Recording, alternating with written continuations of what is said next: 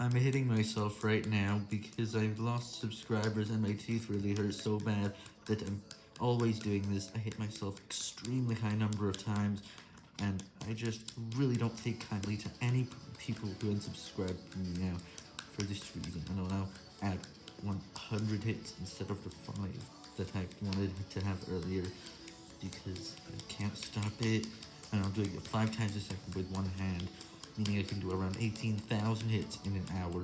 I can make about a million hits in three days, assuming there was sleep. So, I'm really sorry for that.